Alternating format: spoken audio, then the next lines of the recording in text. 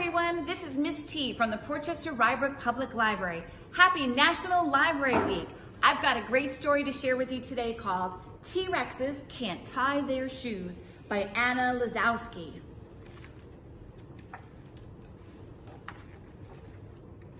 If you're still a bit small, it is no fun at all when you can't reach a shelf or get dressed by yourself. But you're not alone.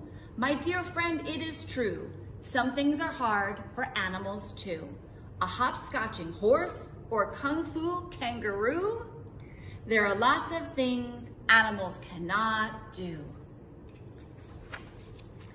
Alligators can't pick apples. Bees can't ride bicycles. Cheetahs can't chew bubblegum. Dogs can't wash dishes. Elephants can't fit in elevators. Foxes can't flip pancakes. Giraffes can't do gymnastics. Horses can't play hopscotch. Iguanas can't eat ice cream.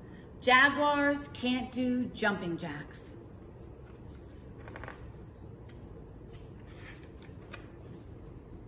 Kangaroos can't practice kung fu.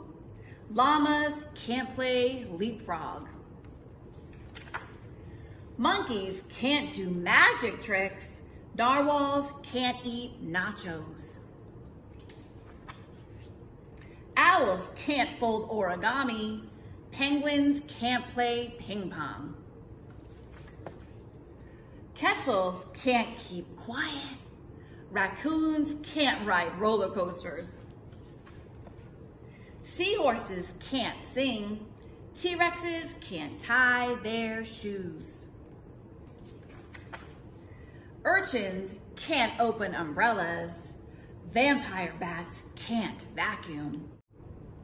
Walruses can't make waffles. Xenopses can't play xylophones. Yaks can't throw yo-yos. Zebras can't go ziplining. But they can have a lot of fun trying. Well, boys and girls and grown-ups, we hope you come out to the Port Chester-Rye Brook Public Library, check out lots of our books and DVDs and much more. This is Miss Tee saying bye-bye, and we miss you and hope to see you soon.